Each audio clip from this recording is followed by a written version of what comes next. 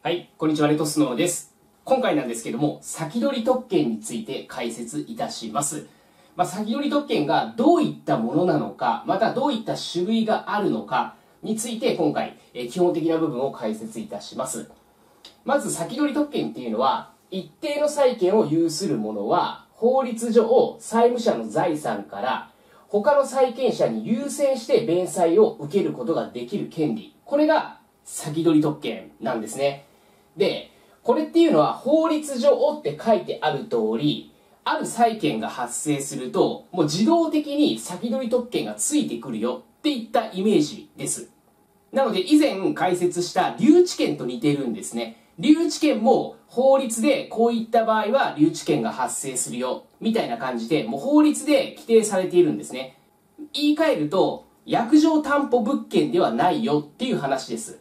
先取り特権は約定担保物件ではなくて法定担保物件に入ってきます。法律で定められた担保物件ってことですね。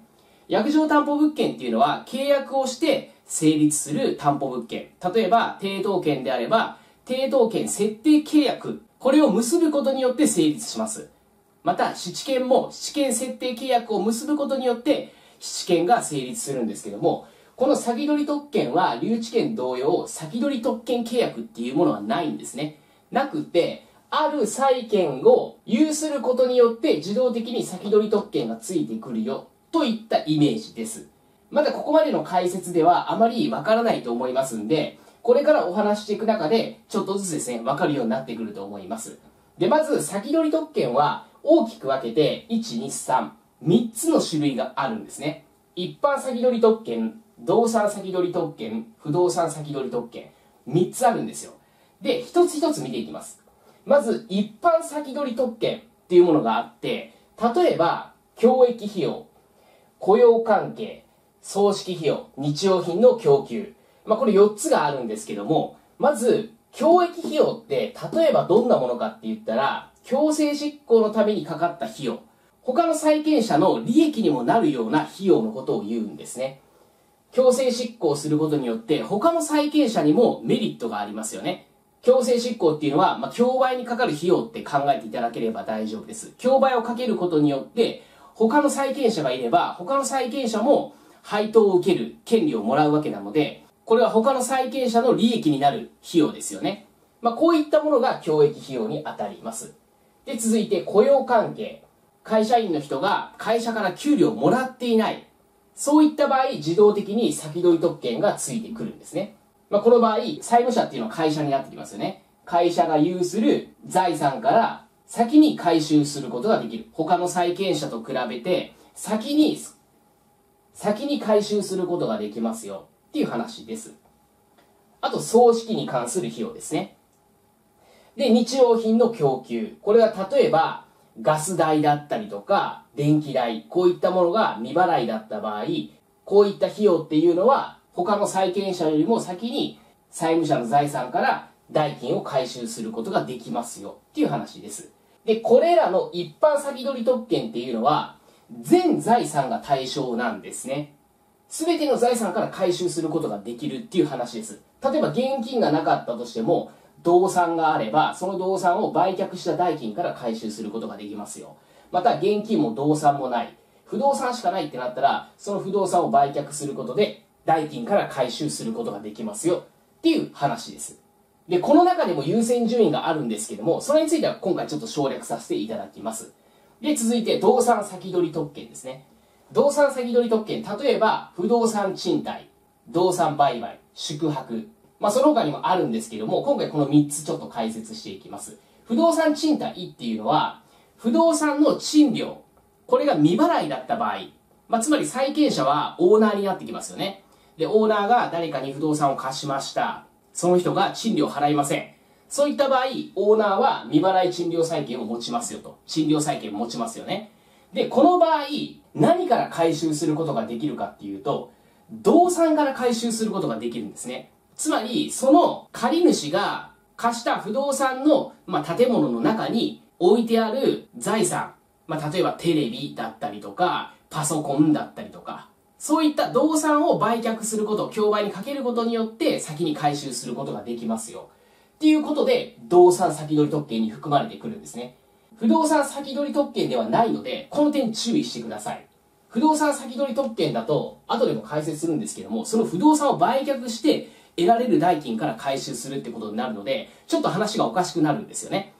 なぜかというと、賃借人、借り主っていうのは、その建物の所有者ではなくて、オーナーが所有者だから、オーナーが自分の建物を売ってそこから回収するって意味がわからないですよね。なので、不動産の賃貸に関しては、動産先取り特権に含まれますよ。っていう話です。で、続いて、動産売買ですね。これは未払い代金債権の話です。例えば私が、えー、A さんに物を売りました。売ったはいいけれども、売って引き渡したはいいけれども、代金まだもらっていないという状況。この場合、このものを競売にかけちゃって、そこで売れた代金から回収すると、まあ、いうことですね。で、続いて宿泊。これは未払いの宿泊代金債権の話です。ある人が旅館に泊まりました。旅館泊まったはいいけれども、宿泊費払わないといった場合、その宿泊した人の荷物、これを差し押さえて、競売にかけて、そこから回収することができますよ。といった話です。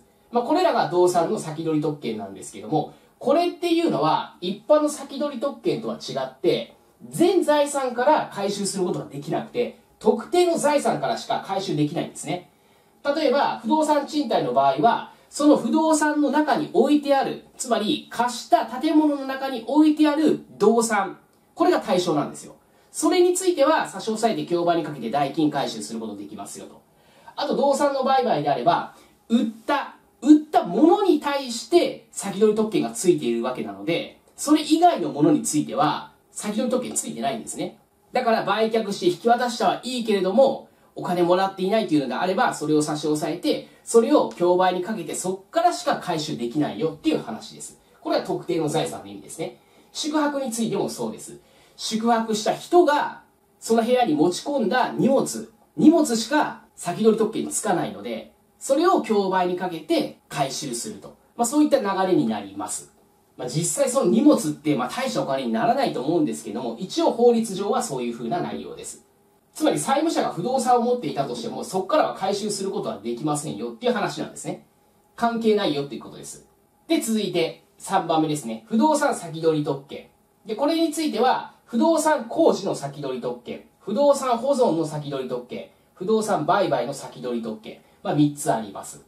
で、不動産工事の先取り特権っていうのは、まあ、工事の設計に関する費用、設計費用だったりとか、あとは建築費用だったりとか、建物を建てるための費用だったりとか、まあ、厳密に言うと、ちょっといろいろ出てくるんですけども、まあ、とりあえずはそんなイメージで大丈夫です。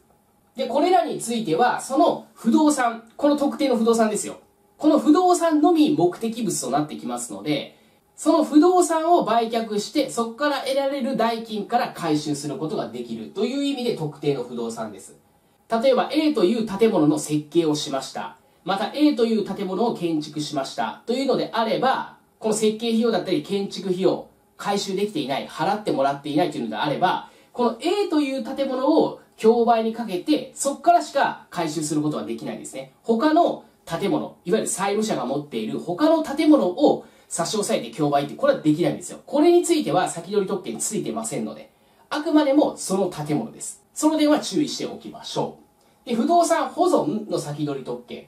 これ例えば、修繕費ですね。雨漏りがして、屋根交換しなきゃいけない、屋根修繕しなきゃいけないっていった場合の屋根を修繕する費用。まあ、不動産の価値を維持するための費用ですね。その修繕費用を払ってくれない場合は、その建物に先取り特権がつきますよ。といった話です。で、不動産売買の先取り特権。まあ、これは動産売買の時とよく似ていて、不動産を売却した。売却したけれども、代金払ってもらっていない。まあ、そういった場合ですね。そういった場合、その建物を差し押さえて競売にかけて、そこから得られる代金から回収することができますよ。といった話です。まあ、これが先取り特権なんですね。今言ったそれぞれの債権、費用とかありますよね。費用だったり債権とかあります。そういったものについては先取り特権がついているんですよ。つまり一定の債権っていうのは、法律で定められたこういった費用だったり、こういった債権についての話であって、法律に規定されていない費用だったりとか債権については先取り特権でつかないんですね。こういったものについては先に回収させてあげた方がいいですよね。ということで、法律で先に回収してくださいよ。他の債権者よりも優先して回収することができますよ。っていうふうなルールになっております。で、とりあえず今回の動画では先取り特権がどういったものなのか、ある程度イメージできるっていうことをメインで解説させていただきましたので、細かい部分については別途問題を解きながら、またテキストを読みながら勉強を進めていっていただければと思います。今日も最後まで動画をご覧いただきましてありがとうございました。宅建合格目指して一緒に頑張っていきましょう。